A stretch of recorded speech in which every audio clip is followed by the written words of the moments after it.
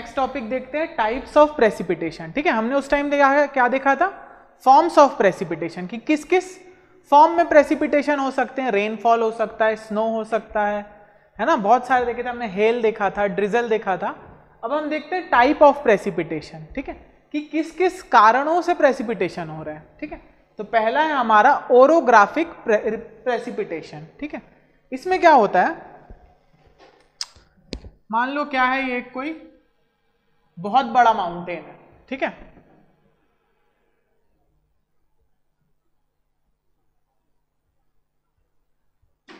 बहुत बड़ा माउंटेन है। अब हिमालय है, मान लो, ठीक है? यहाँ पे क्या है अपने? क्लाउड्स हैं। तो ये क्लाउड्स के लिए ये माउंटेन क्या बन जाएगा? एक बैरियर ठीक है? ये क्या बन गया आपके लिए? एक बैरियर मतलब ये क्लाउड्स इससे आगे जा पाएँगे क्या? नहीं जा पाएँगे, है ना? इससे आगे जाने के लिए उनको क्या करना पड़ेगा? उनको थोड़ा सा ऊपर उठना पड़ेगा, है ना? और हमको पता है कि अगर हम हम अर्थ के ऊपर कौन सी लेयर होती है? ट्रोपोस्फियर अगर हम ट्रोपोस्फियर में जैसे जैसे ऊपर जाएँगे वैसे वैसे टेम्परेचर क्या होता जाएगा? कम होता जाएगा। तो वैसे ये क्लाउड जब ऊपर जाएँगे क्योंकि इनको आगे बढ़ना है। विंड इस साइड की है, मान लो। है ना? विंड कुछ इस साइड की है। इनको आगे बढ़ना है तो इनको क्या करना पड़ेगा? ऊपर उठना होगा। और जैसे ये ऊपर उठेंगे, ये क्या हो जाएँगे? ठंडे हो जाएँगे, क्योंकि ऊपर क्या है? टेम्परेचर कम है, ठीक है? तो जैसे ये ठंडे होंगे मतलब इनका क्या हो जाएगा? कंडेंसेशन और जैसे ही कंडेंसेशन होगा, यहाँ पे क्या हो जाएगा? प्रेसिपिटेशन क्लियर है? इसीलिए हम इस साइड को बोलते हैं विंडवर्ड साइड। क्या बोलते हैं? Windward side. ठीक है, और इसको बोलते हैं हम इस साइड को लीवर्ड साइड। ठीक है तो बताओ बारिश ज़्यादा कहाँ पे होगी? किस साइड ज़्यादा बारिश होगी? विंडवर्ड साइड या लीवर्ड साइड? ऑब्वियसली क्लाउड्स यहाँ पे ज़्यादा है। ठीक है, इस साइड तो बहुत कम आ पाएँगे क्लाउड्स तो हैवी रेन कहाँ पे होगी? यहाँ पे होगी हैवी रेन यहाँ पे कैसी होगी? हैवी रेन और यहाँ पे कैसी होगी? लाइट रेन क्लियर है? विंडवर्ड लीवर्ड साइड ओके तो ये इसी के कारण हमारे यहाँ यूपी में बारिश होती है। क्योंकि हमारे यहाँ बड़ा माउंटेन क्या है? हिमालय है। क्लाउड्स वहाँ जाके रुक जाते हैं और पूरा यूपी एमपी में बारिश हो जाती है। क्लियर है? ओरोग्राफिक प्रेसिपिटेशन अब हम देखेंगे नेक्स्ट टाइप ऑफ़ प्रेसिपिटेशन जिसको हम बोलते हैं साइक्लोनिक प्रेसिपिटेशन साइक्लोन सब जानते हैं? इंडिया में भी बहुत आता है है ना? अगर इंडिया में आता है तो हम इसको क्या बोलते हैं? साइक्लोन ठीक है? अगर अमेरिका में आता है तो हम इसको क्या बोलते हैं? हेरिकेन अमेरिका में इसको क्या बोला जाता है? अमेरिका में बोला जाता है इसको हेरिकेन और अगर साउथ ईस्ट एशिया में आता है तो हम इसको बोलते हैं टाइफून क्लियर है? तीनों हैं एक ही चीज़. इसमें क्या होता है? नोट्स आप लिख लेंगे, ठीक है? A cyclone is a large low pressure zone cyclone कैसा होता है? कुछ इस साइड इस टाइप का होता है साइक्लोन ठीक है? तो ये क्या क्रिएट करता है? सेंटर पे एक लो प्रेशर जोन क्रिएट करता है. मतलब सबको खींचता है अपनी तरफ़, ठीक है? अब उससे क्या होता है? Region with circular wind motion like this okay उससे क्या होता है? In low pressure area air will flow horizontally from the surrounding area अब क्या होगा? लो प्रेशर क्रिएट हो गया। तो ये क्या करता है? सारे साइड की हवा को अपने तरफ़ खींचने लगता है कुछ इस तरीके से। सारे साइड की हवा को अपने तरफ़ खींच रहा है एक लो प्रेशर जोन क्रिएट करके, ठीक है? जिससे क्या हो रहा है, जो यहाँ के क्लाउड्स हैं, हवा आएगी तो साथ में क्लाउड भी तो आएगा। क्लाउड कैसा है? हल्का है ना? हवा के साथ वो भी क्या हो रहा है?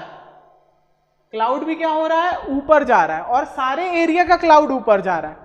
तो उससे क्या होगा? ऊपर जाने से हमने बताया था ट्रोपोस्फियर में ऊपर जाते हैं तो टेम्परेचर कम होता है मतलब ठंडा होती है चीज़ें तो वैसे ही सारे क्लाउड जब मिलके ऊपर जाएँगे तो क्या होगा? बहुत बड़ी एक बारिश होगी, है ना? तो जैसे हम देखते हैं कि बे ऑफ़ बंगाल में अगर कोई तूफ़ान आता है तो बारिश कहाँ तक आती? छत्तीसगढ़ एमपी बिहार, सब जगह होती है बारिश। किस कारण होती है? सिर्फ़ इस साइक्लोन के कारण। अभी मुंबई में आया था, मुंबई, गुजरात तरफ़ तो बारिश कितनी हुई थी? किसके कारण हुआ था? साइक्लोन के कारण, ठीक है? अब हम देख लेते हैं type of cyclone type of cyclone ठीक है? सबसे ज़्यादा डेंजरस साइक्लोन कौन सा होता है? ट्रॉपिकल साइक्लोन जो हमारे बीच वाले रीजन में आता है है ना? 23 डिग्री 30 मिनट से लेके इधर भी 23 30 मिनट्स तक ओके 23 डिग्री 30 मिनट्स तक। तो इस एरिया में मेन कौन कौन से देश आ गए? इंडिया आ गया अमेरिका आ गया, ठीक है? साउथ ईस्ट एशिया आ गया, यहीं पे आता है बहुत ज़्यादा साइक्लोन क्लियर है? तो इसको हम बोलते हैं ट्रॉपिकल साइक्लोन ओके? इसको अब एनर्जी कहाँ से मिलती है? साइक्लोन के पास तो बहुत एनर्जी होती है ना।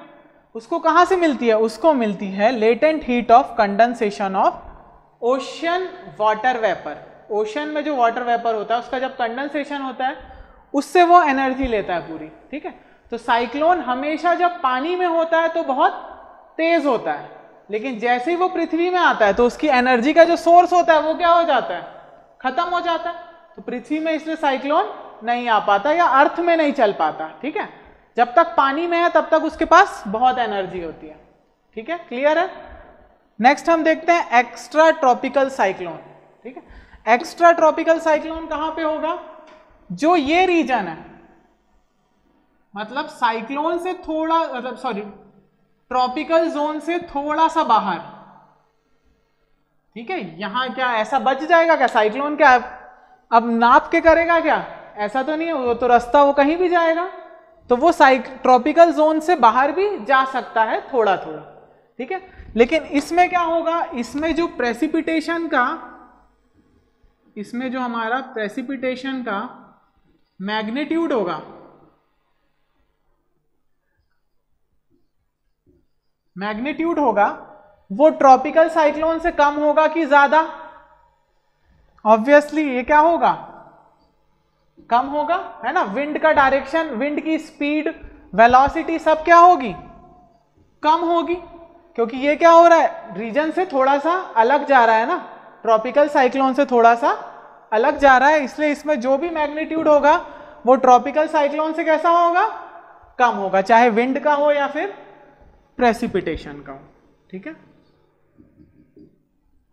नेक्स्ट हम देखते हैं नेक्स्ट टाइप का होता है एंटी साइक्लोन एंटी साइक्लोन मतलब क्या पता चल रहा है आपको? साइक्लोन से जस्ट उल्टा. साइक्लोन में क्या होता था? हमने वहाँ देखा था। आइए। साइक्लोन में हमने क्या देखा था? एक लो प्रेशर जोन क्रिएट हो रहा था। है ना?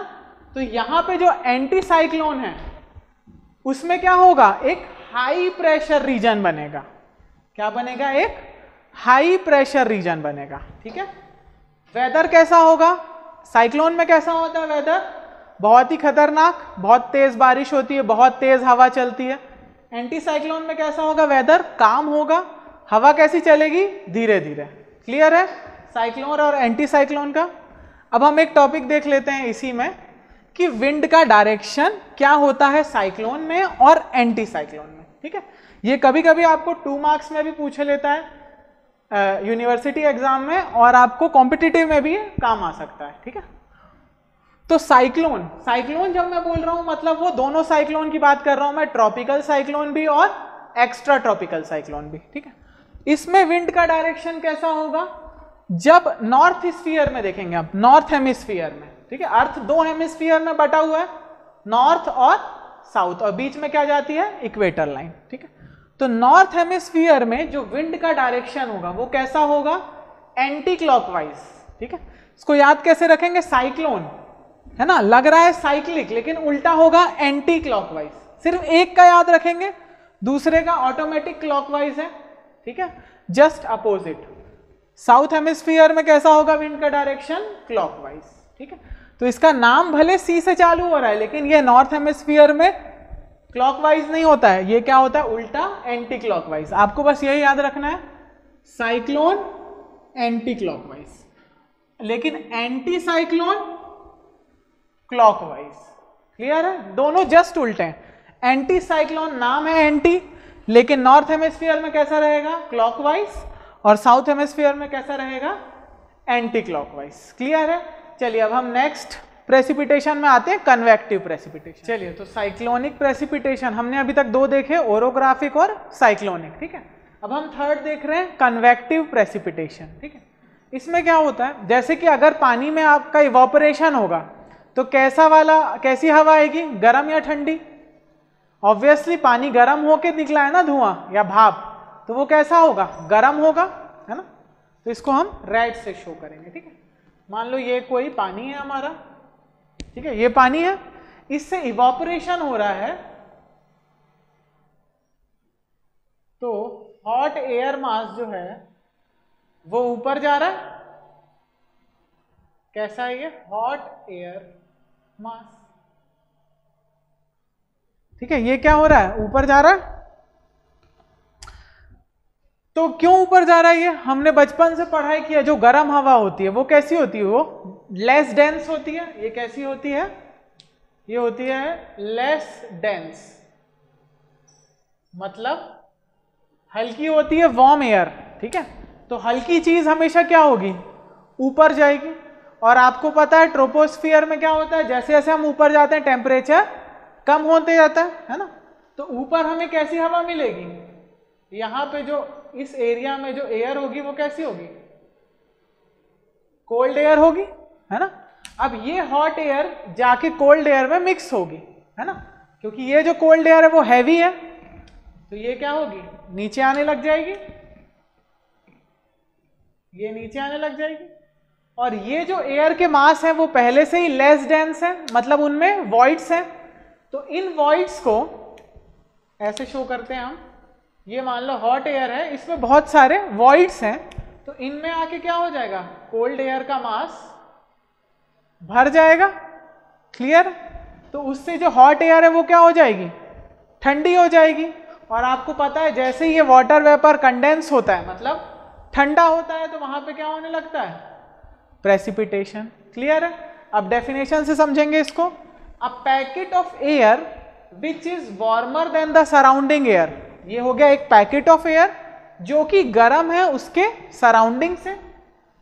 Due to localise heating okay rises because of its less density localise heating के कारण ये जनरेट हुआ है, और लेकिन ये क्या है? लेस डेंस है। तो उसके कारण क्या होगा ये? ऊपर जाता जाएगा। लिखा है the warm air mass continue to rise और जैसे जैसे ऊपर जाएगा, ये कोल्ड एयर मास इसको क्या करने लगेगा? ठंडा करने लगेगा। जैसे ये ठंडा हो जाएगा, वैसे क्या हो जाएगी? बारिश हो जाएगी, ठीक है? लेकिन ये क्या होगा? एक लोकलाइज हीटिंग है। मतलब एक कोई पर्टिकुलर छोटा सा एरिया है जहाँ पे ये हीटिंग हो रही थी, ठीक है? इसलिए इसका एरिया कैसा होगा? एक स्मॉल एरिया होगा, ठीक है? लिमिटेड टू 10 किलोमीटर डाया और जो हमने साइक्लोन देखा था ना साइक्लोनिक प्रेसिपिटेशन मैं देखिए 10 किलोमीटर डाया को कम क्यों बोल रहा हूँ, इसलिए आपको बता रहा हूँ। क्योंकि जो हमने साइक्लोनिक प्रेसिपिटेशन देखा था, उसमें ये डाया इतना हो जाता है। ठीक है? उसमें ये डाया क्या हो जाता है? Ten to the power three. इसलिए ये एरिया कैसा हो गया? बहुत छोटा, कि एक शहर में बारिश हो रही है बस। ठीक है? या एक कोई छोटे से गाँव में बारिश हो रही है। तब हम उसको क्या बोलेंगे? कन्वेक्टिव प्रेसिपिटेशन ठीक है? लेकिन क्या होगा इसमें? ड्यूरेशन भी कम होगा, लेकिन इसकी इंटेंसिटी हाई होती है है ना? आपने देखा होगा, मम्मी पापा बोलते हैं कि जब तेज बारिश होती है तो क्या होता है? उसका ड्यूरेशन कैसा होता है? कम होता है। बोलते हैं ना आपको बेटा, बारिश तेज हो रही है, रुक जाओ। थोड़ी देर में बारिश भी रुक जाएगी, क्योंकि तेज बारिश जल्दी रुक जाती है ना? ड्यूरेशन कैसा है इसका? स्मॉल आई होप आपको क्लियर होगा कन्वेक्टिव प्रेसिपिटेशन ओके नेक्स्ट आते हैं हम फ्रंटल प्रेसिपिटेशन में। ठीक है? तो पहले इसकी डेफिनेशन देख लेते हैं, क्या बोल रहे हैं? When a warm air mass and cold air mass meet the warmer air mass is lifted over the colder one with the formation of front तो उसके लिए हम पहले फ्रंट समझते हैं फ्रंट क्या होता है ठीक है फ्रंट ये है कि मान लो ये कोई एरिया है एक फ्रंट बीच का ठीक है इसके इस साइड है हॉट एयर और इस साइड है कोल्ड एयर ठीक है? तो दोनों जहाँ टकराएँगे, उसको हम क्या बोलेंगे? उसको हम बोलेंगे फ्रंट क्लियर है? तो इसमें क्या हो रहा है? यहाँ से हॉट एयर आ रही है और यहाँ से कोल्ड एयर आ रही है। अब क्योंकि ये हल्की है हॉट एयर तो ये क्या हो जाएगी इसके? ऊपर चढ़ जाएगी, है ना? और इसके कारण क्या हो जाएगी? बारिश हो जाएगी क्योंकि ये गर्म एयर क्या हो जाएगी? इसके कारण ठंडी हो जाएगी। क्लियर है? फ्रंटल और कन्वेक्टिव में थोड़ा सा डिफरेंस है बस डायरेक्शन का। क्लियर है? दोनों के बीच का डिफरेंस